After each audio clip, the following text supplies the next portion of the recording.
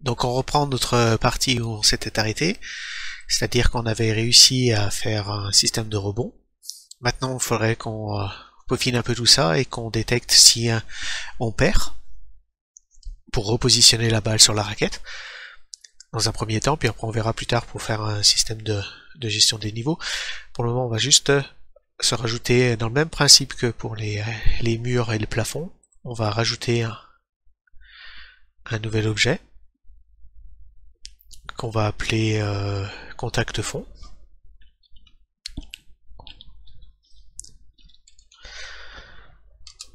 Voilà. On va lui rajouter un, composant d'objet de collision. on va le mettre en trigger, ça va nous changer un peu. Ça on verra à peu près toutes les sortes de systèmes de collision à part la physique de, de, de box 2D on rajoute une box de collision. On va lui faire d'une dimension à hauteur 20, ou ça on va faire peut-être 40, 40 de hauteur et 1300. Et on va lui donner, on va dire que ça s'appelle contact fond, voilà, et elle collisionne qu'avec la balle. Voilà. Donc on retourne à notre balle et on lui rajoute le fond pour que on puisse bien détecter la collision. Voilà. Et là on est pas mal. On retourne donc la, la scène du jeu on va rajouter notre euh,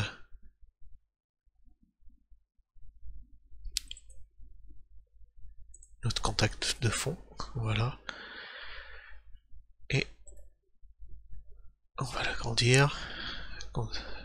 Contact de fond. Voilà, voilà. Et là, on va l'agrandir. On va le mettre voilà, juste sous la raquette. On lance. Voilà, là on voit bien qu'on est ici.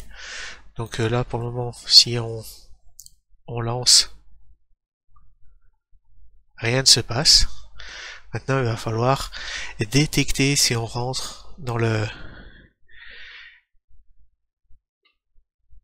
On va falloir détecter si la balle elle rentre dans ce, dans ce box de collision qui est un trigger. Donc pour ça, il va falloir on va utiliser une autre méthode, c'est-à-dire que c'est pas la on va pas c'est pas la balle qui va détecter si on rentre dans le dans dans le dans la la boîte de collision ici, mais c'est la boîte de collision qui va détecter si la balle rentre. C'est un, autre fonctionnement. Voilà, c'est pour vous pouvez découvrir tous les toutes les méthodes et puis c'est plus intéressant, on va attaquer le système de messages pour envoyer des messages aux objets. Donc, on retourne sur notre euh, script, on rajoute un script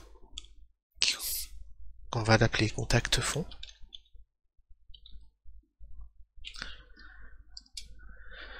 Voilà.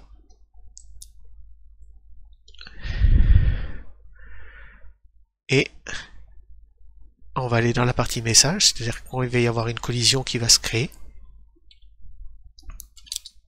Donc, on reprend notre principe de message ID.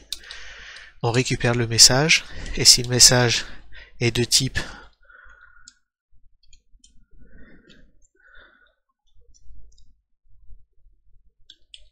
trigger de type trigger response, alors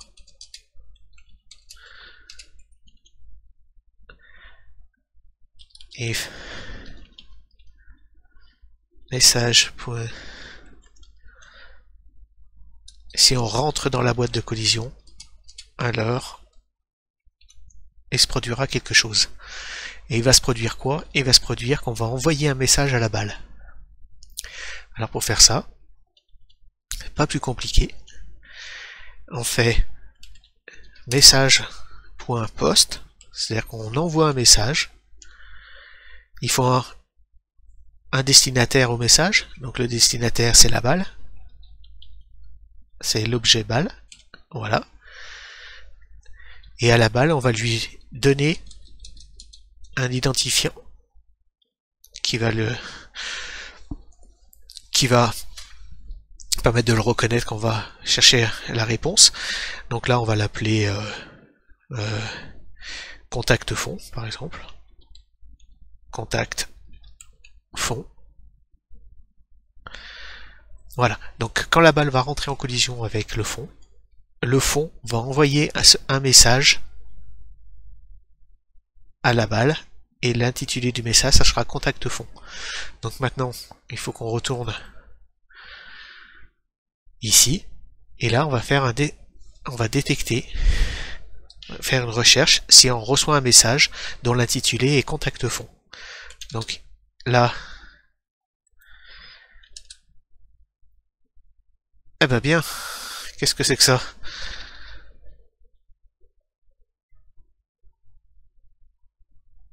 En direct live j'arrive à faire planter des fautes. Voilà. Bon, bah on se retrouve parce qu'il a fallu que je redémarre le, truc et que je réécrive ce que j'avais écrit. Donc là, on va retourner dans notre euh, script contact fond. Donc là, j'envoie bien le message contact fond à la balle. Donc on va aller sur la balle et reprendre là où on était. Donc là, je pensais que c'était ici. Donc si le message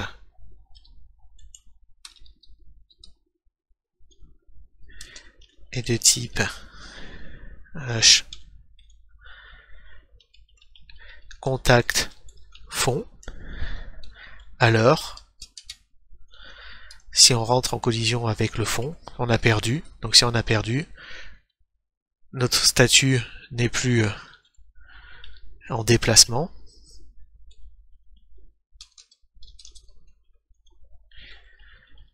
mais en statut init. Voilà. Déjà, normalement. Donc quand va la balle va toucher le, le fond, hop, elle va se repositionner sur la raquette. On lance. Rebond, rebond. Et non, ça ne marche pas. Alors, est-ce que j'ai un message d'erreur? Non, je n'ai pas de message d'erreur. On vérifie bien que j'ai bien ma box de collision. Je l'appelle bien contact fond, le masque c'est la balle. La balle. Et là, contact fond. Ouais. Est-ce que j'ai lié le script avec le contact fond? Et non. J'ai oublié quand j'ai redémarré. Donc, je vais lui rajouter contact fond. Je lance.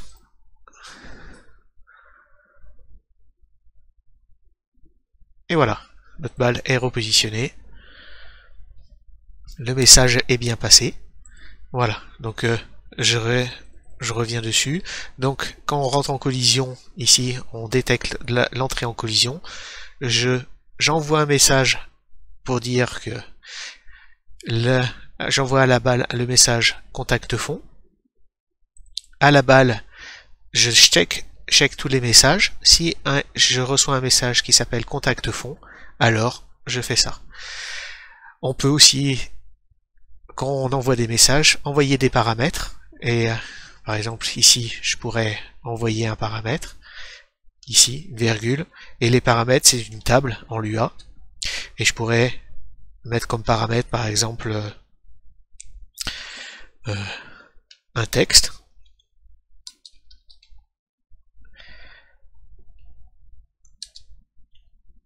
on perd, par exemple. Voilà. Donc là, ce que je vais envoyer, je vais envoyer à la balle le message contact fond et il contient une table et dans la table il y a un texte qui est écrit on perd. Et dans la balle, je pourrais écrire le texte par exemple, parce que je le reçois, et je le reçois dans message, la, table est transmise en message. Je rajoute un point et je récupère ma variable texte. Voilà. Et on relance. Je lance. Et voilà. Le texte est apparu en bas. Voilà, là on va pas s'en servir en aucune utilité, mais c'était pour faire voir que c'était possible. Donc je retourne dans mon contact fond, et puis on enlève ça. Aucune utilité de garder ça. Voilà, donc on en est arrivé. Donc, maintenant que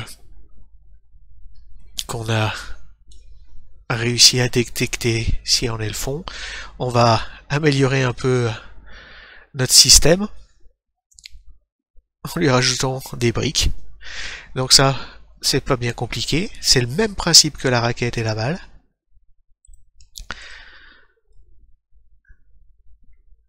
C'est-à-dire que on va créer un game objet. Voilà, on va l'appeler brique. Cette brique a un sprite.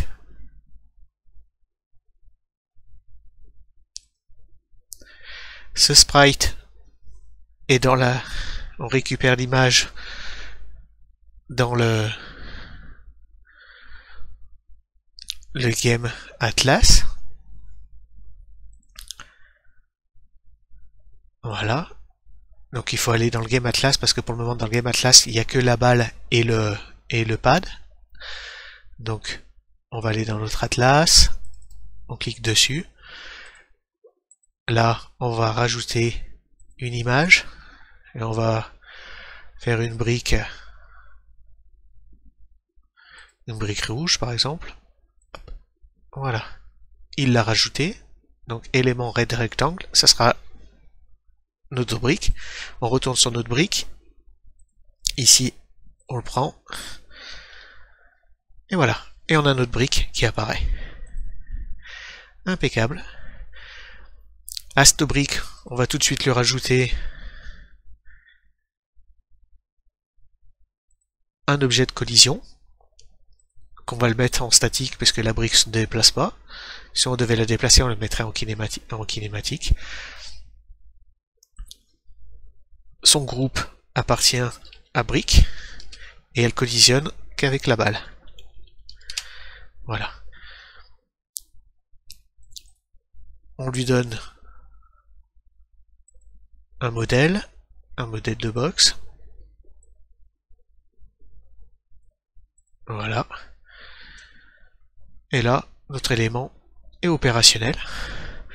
On va dans balle et on vient préciser que que ça collisionne avec les briques.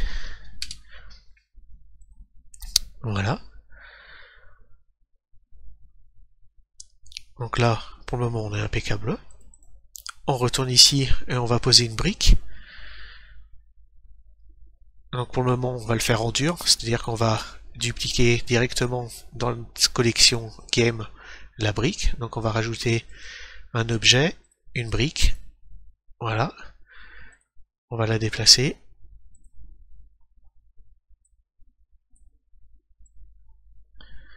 On va la mettre là dans l'angle, comme ça, ce sera plus facile pour viser. Voilà. Donc si je lance maintenant, voilà, j'ai ma brique qui apparaît. Mais si je...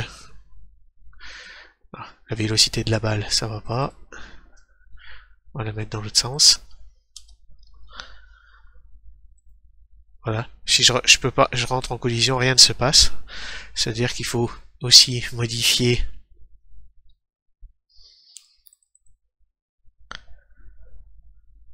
ici et dire que si on touche la brique, comment on se positionne? Euh,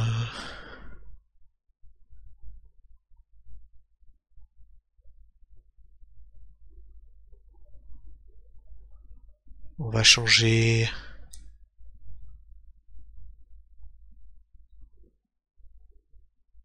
Juste la, vélocité Y, on va la refaire redescendre. Donc là, on peut faire la même chose que ça.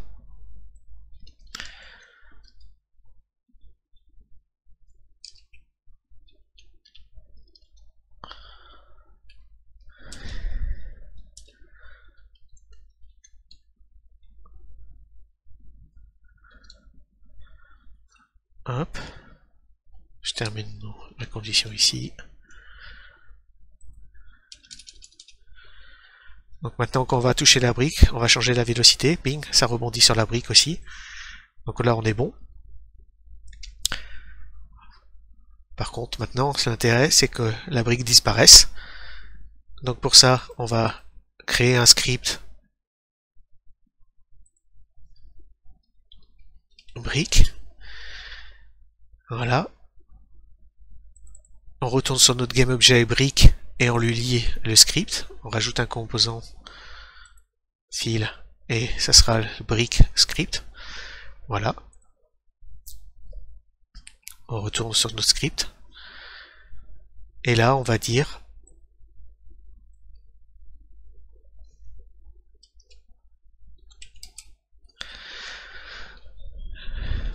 si on rentre en collision, alors on détruit la brique.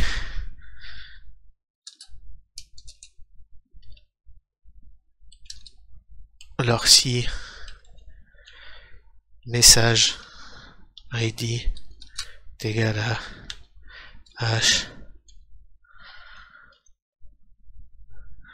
là c'est contact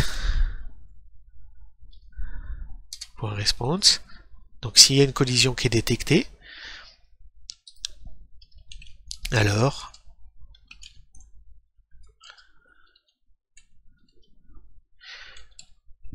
mon objet, je le détruis. Et voilà. Il n'y a plus qu'à relancer. Normalement, quand on va rentrer en contact avec la brique, ping, elle va se détruire et elle n'existe plus. Voilà. On va le relancer euh, pour faire plus joli. On retourne sur notre Game Project. On va dans la partie physique. On enlève le debug, on relance. Voilà, on a notre briquet apparu ici. On clique, ping, elle a disparu.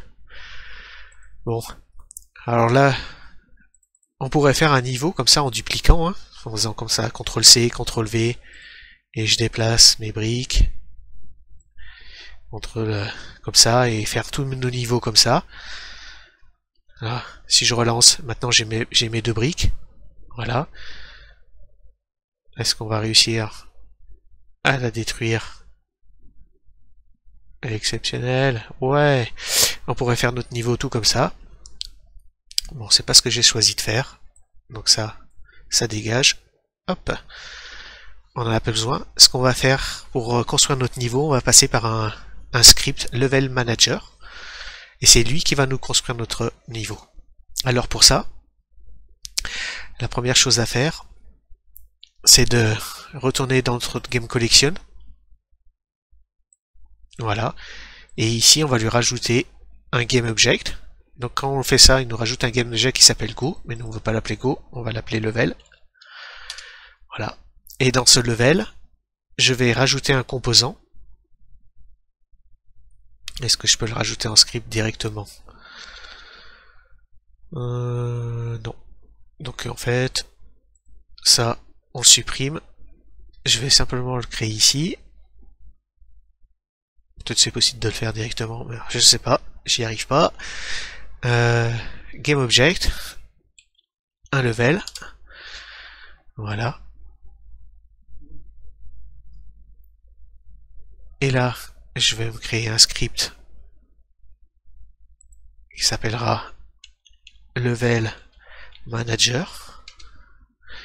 Voilà, je retourne dans mon ici, et là je vais lier un composant qui s'appellera level manager. Je retourne dans mon ma collection game, et là je lui ajoute un fichier de game objet, et c'est level. Voilà. Donc maintenant au démarrage, il va exécuter le level manager et c'est ici qu'on va définir. Donc on va faire comme on fait habituellement avec Love. On va se faire une table qui va contenir notre level. Donc je la mets en local parce qu'elle appartient qu'à ce fichier. Level.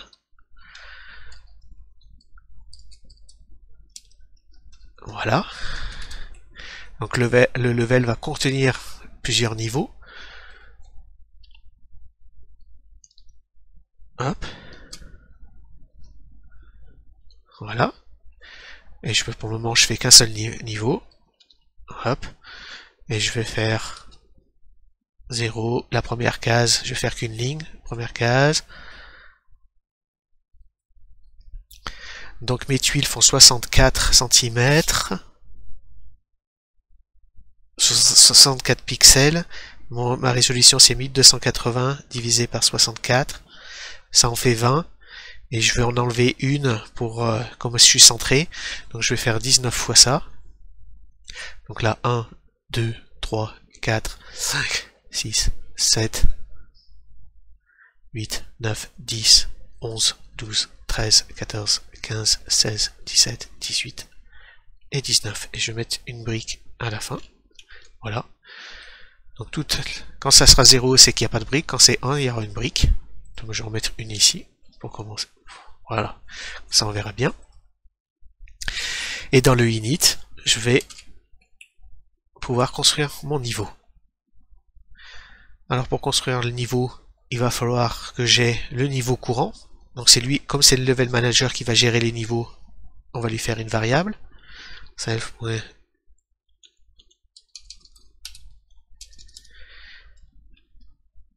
current level. On va la mettre à 1. Ici, je vais donner la largeur des tuiles et la hauteur des tuiles. Donc local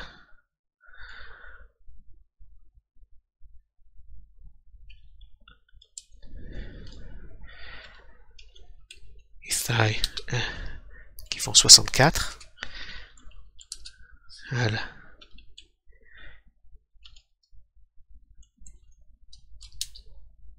Voilà.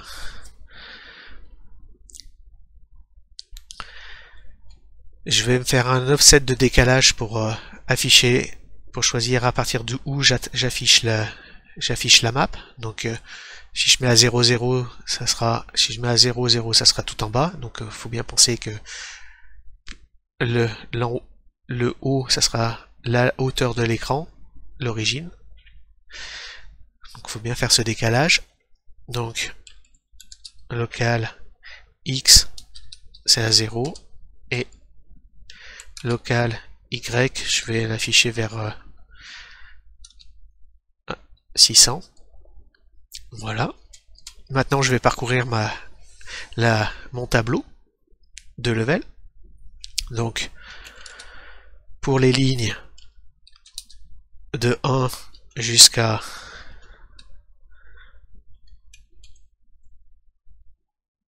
level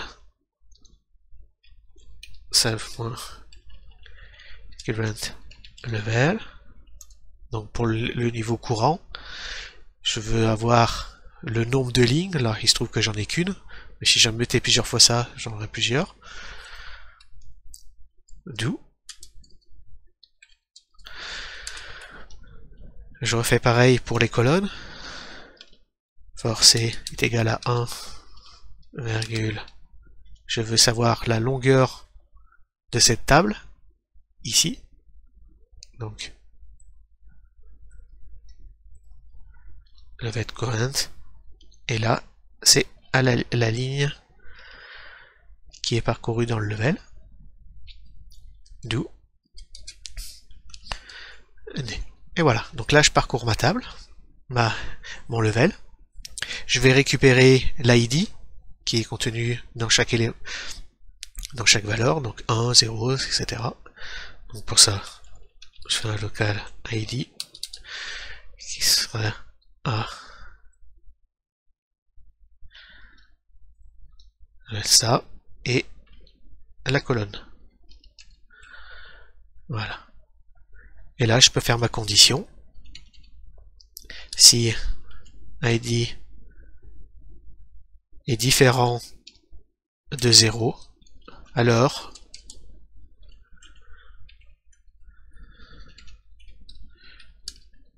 je crée une brique. Voilà. Donc on peut lancer ça pour voir s'il n'y a pas de plantage déjà. Donc le jeu est bien lancé. Bon, j'ai pas de brique qui est l'écran, parce que j'ai rien créé du tout.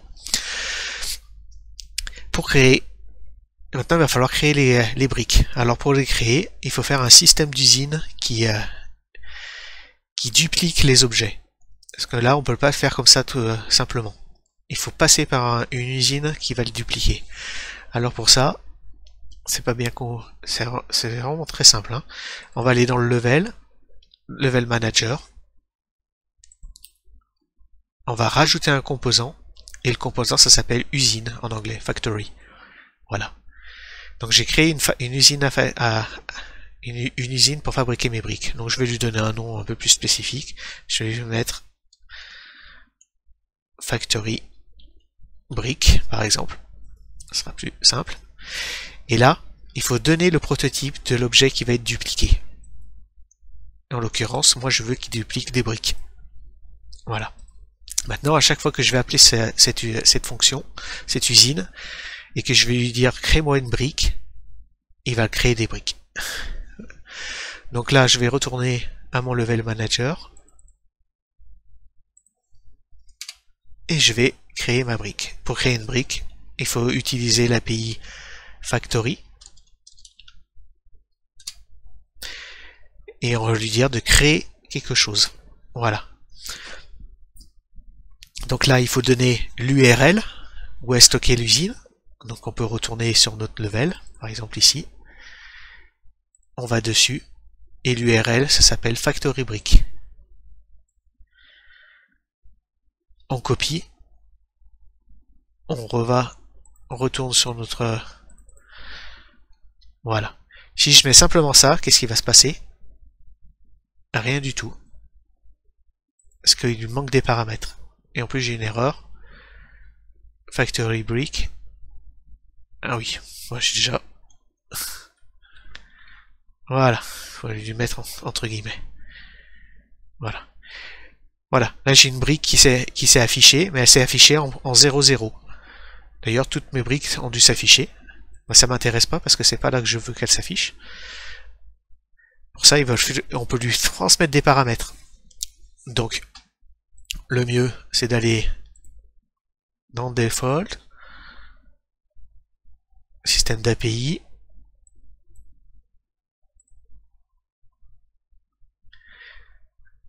Factory,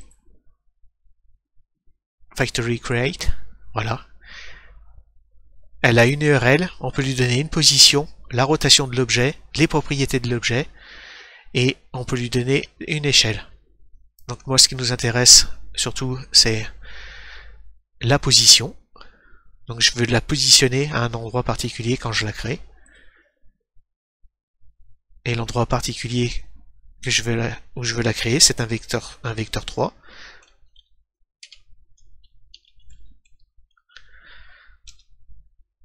Vecteur 3. En x, eh ben, c'est la position de l'offset, donc x, plus la colonne fois la largeur de la tuile. Et en y, c'est l'offset y ici, auquel je vais rajouter, je vais soustraire la ligne fois la hauteur d'une tuile. Et 0 en Z. Je relance. Et notre niveau est apparu. Si je rajoute des briques ici,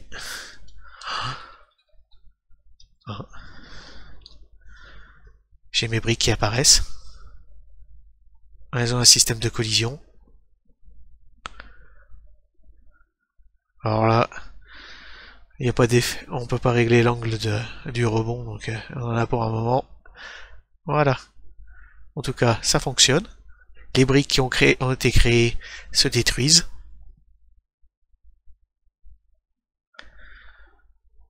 Voilà. Et quand on perd, on perd. Voilà.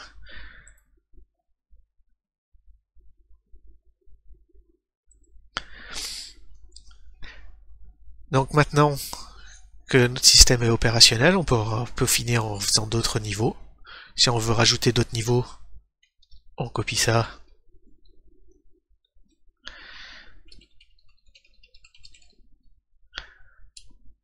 Et ça sera le niveau 2. Et on n'aura plus qu'à dire ici, tu nous charges le niveau 2. Et voilà, notre niveau 2 sera chargé. Voilà. Donc maintenant, on va s'intéresser à la prochaine étape. On va faire un système de scènes et puis on va aborder le, le, le travail sur la JUI pour euh, écrire quelque chose à l'écran, afficher la vie, etc. Donc on se retrouve pour la prochaine vidéo.